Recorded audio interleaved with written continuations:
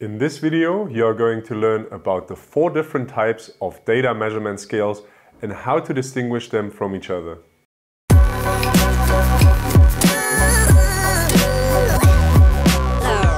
Hi and welcome back to Physio Tutors.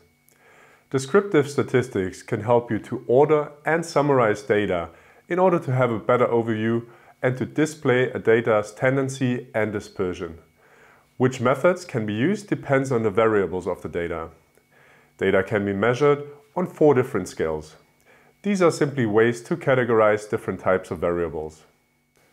Nominal and ordinal scales are called qualitative scales and intervals and ratios are called numeric or continuous scales. Let's look at each of those in detail. Number one, nominal scales can be used for labeling variables without any quantitative value.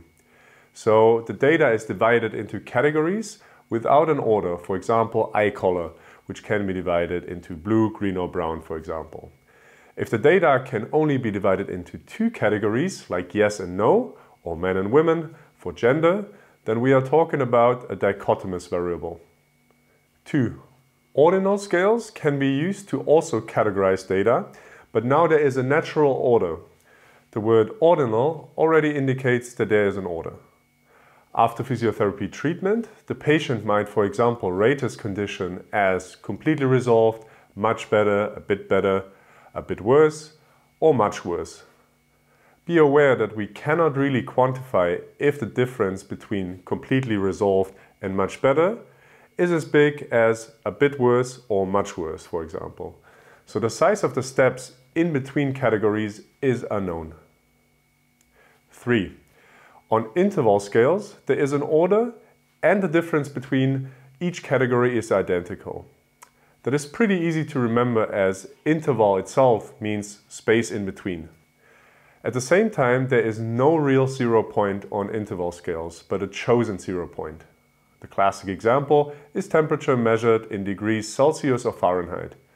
The difference between 20 and 30 degrees Celsius and 10 and 20 degrees Celsius is both 10, so the intervals are identical. However, 0 degrees Celsius does not mean the absence of a value, but is just another number used on a scale. This also means that we cannot say that 20 degrees is twice as warm as 10 degrees. Negative numbers also have a meaning by the way. And number four, ratios have all of the above, so they tell us about the order, about the exact values between units, plus they do have an absolute zero point. Typical examples are age and weight, which both have a true zero point. We can then also say that 2 meters is twice as long as 1 meter, for example, or that a 40-year-old is twice as old as a 20-year-old. So why is it important to know this all? The type of data measurement scale determines what we are allowed to do with the data when we want to express the data's tendency and variance. In the following table, you will see a summary of our possibilities.